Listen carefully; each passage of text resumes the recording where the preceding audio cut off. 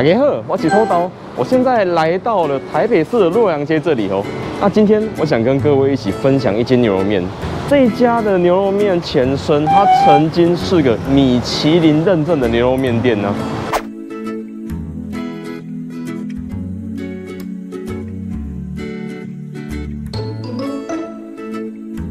但不知道为什么，老板他突然收掉他原本米其林的那一间牛肉面店，然后转而换个地点，还有换个名字，重新再开一间牛肉面。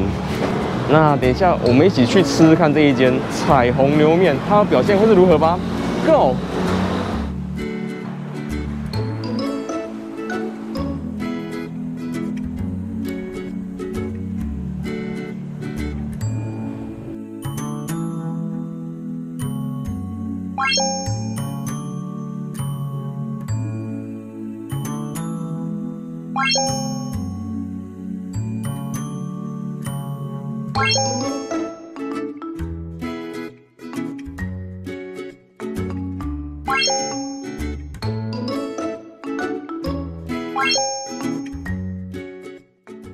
OK 啊，各位，我现在已经在店里面的啦。像是平常啊，我来这一边牛肉面街吃牛肉面的时候啊，我都喜欢点牛杂面呢。但是如果你对这边不熟，而且你也不清楚你今天想要吃牛肉或牛杂的时候，你可以点一个综合面，就是牛肉跟牛杂全都有。而且更不一样的地方是，它这有提供镇江香醋。在吃牛肉面的时候加入一点镇江香醋，我觉得它是另外一种不一样的点缀了。我们去点菜吧。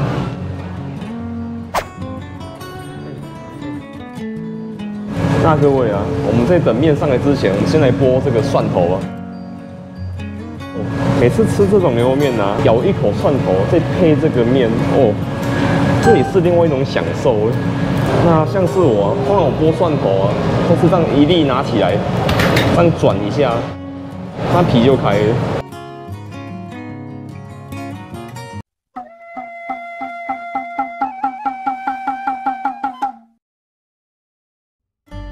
嗯，谢谢。好了，各位，我们的牛肉面已经上来了，那我们开动吧。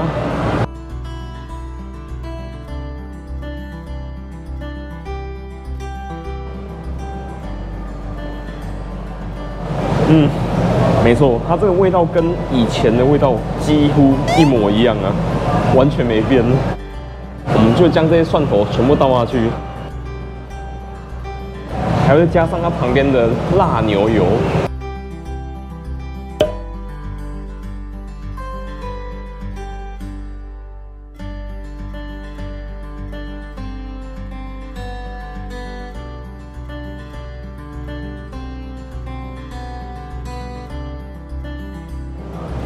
这样子适当的搅拌之后啊，它这碗面的味道就已经接近完美了。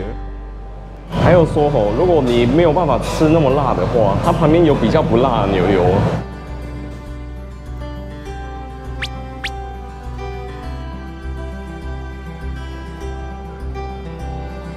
哦吼吼吼吼！哦，这个汤现在里面是充满了牛油的香气啊，喝起来好舒服哦。那接下来我们再加这个酸菜，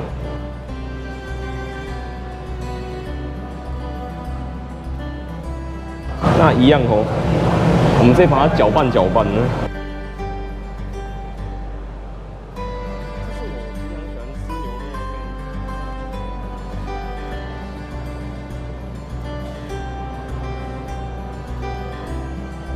来，我们先来加一口酸菜配面呢。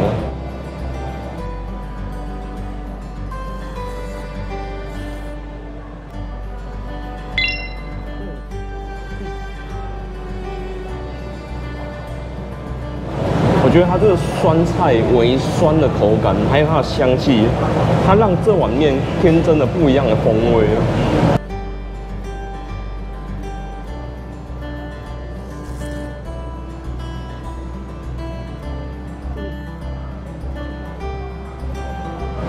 那我们再吃一下这个牛肉。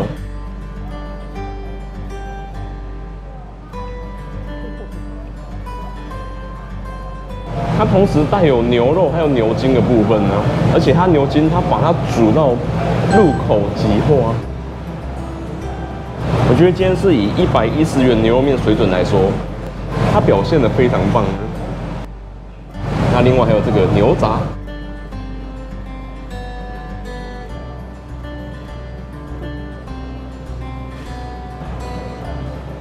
不过，有的人是喜欢吃牛肉，有的人喜欢吃牛杂。如果是你的话，你会选择哪一个呢？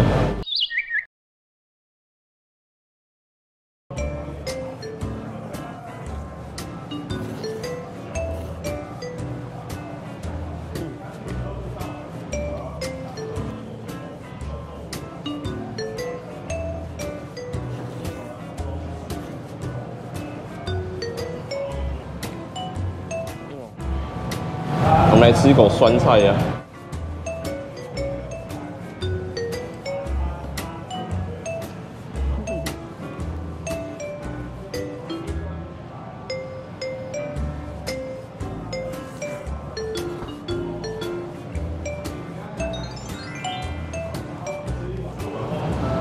他们看一下吼，它这牛肉最好吃的部分就是这个牛筋了。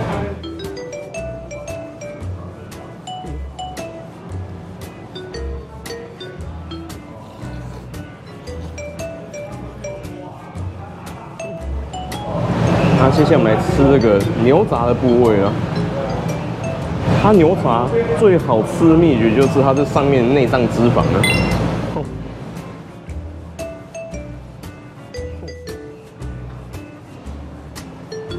它这个牛杂咬下去的时候，它喷出了浓浓的牛油。那各位啊，你们还记得我们稍早丢下去的蒜头吗？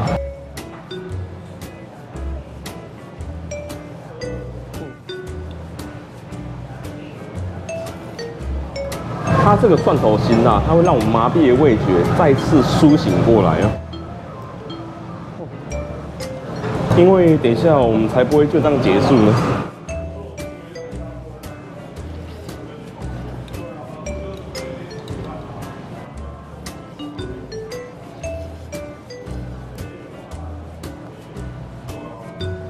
OK 啊，各位，我们面已经吃完了。它这间店呢，它可以免费加汤加面，那我们再去加面加起来吧。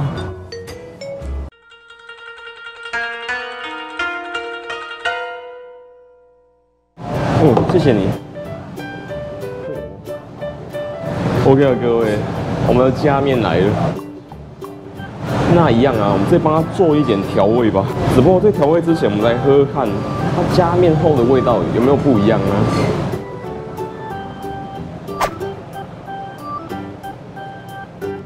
嗯，是感觉得到它的原汁汤头比较淡的，但是没关系啊，我们有桌上这些法宝，一样可以让它变得很好吃啊。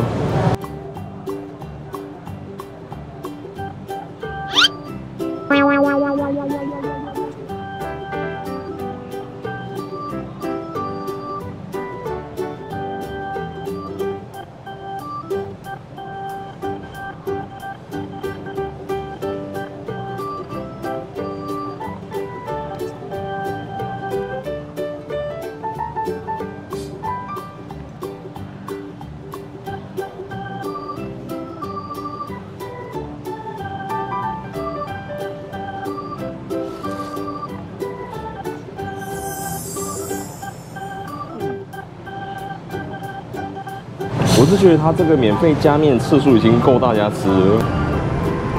哎哎，你好，学校现在还有那个加面的，是等加一次吗？两次哦。哦，谢谢你。如果不够的话，再说了。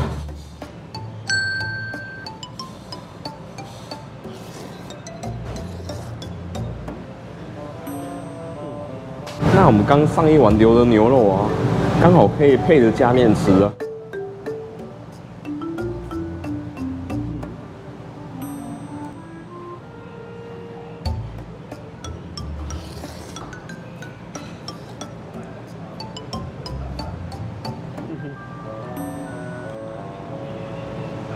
那各位啊，你们一定会想说，如果今天可以吃免费加面的话，那我干嘛点到大碗的牛肉面呢？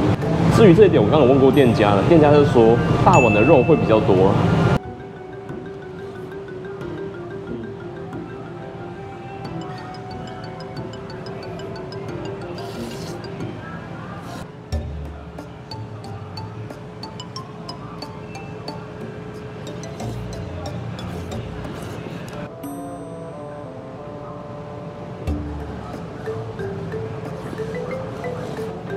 那我们再去加面吧。不要加吗？嗯，嗯，麻烦你了。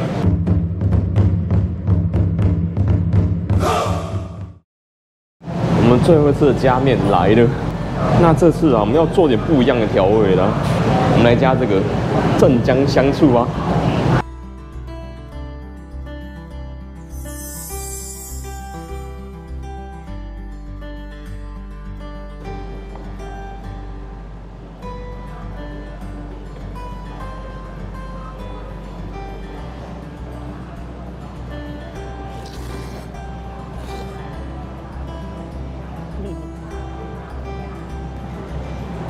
在这个原本的红烧牛肉面当中啊，多了一种清清爽爽的酸味。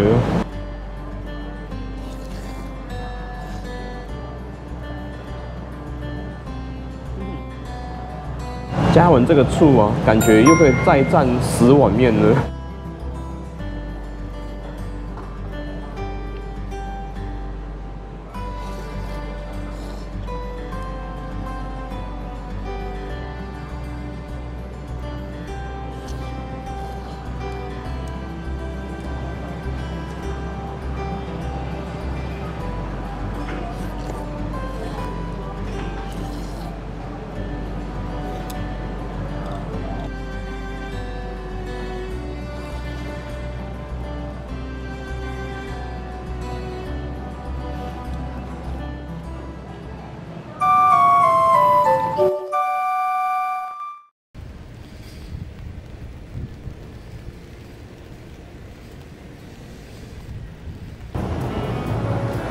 OK 啊，各位，我现在已经在彩虹牛肉面的对面的了。